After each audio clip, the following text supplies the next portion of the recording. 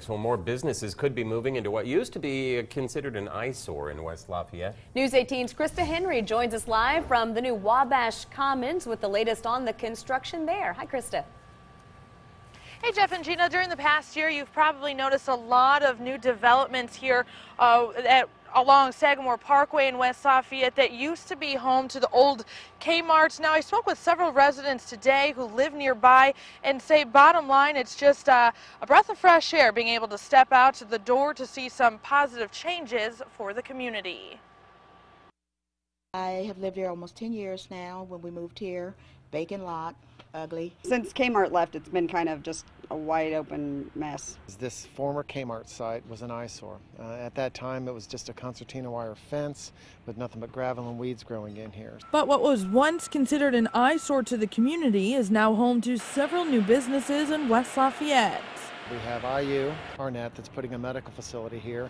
We've got the bank, and we also have Mike's Car Wash. Mayor John Dennis says because of those three anchors, more development has moved into the area. We now have Miracles Fitness, and from what we understand, there's going to be a restaurant put on the end of Miracles Fitness, and the former strip center there, where that holds the Silver Dipper, is getting close to being filled as well.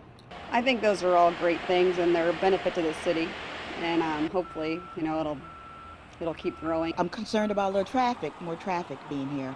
But other than that, it's just wonderful that uh, I can look across the street and see businesses there as opposed to the vacant lot. It just shows how well, if you work cooperatively with the developer, work cooperatively with your neighborhoods, something truly worth looking at can happen.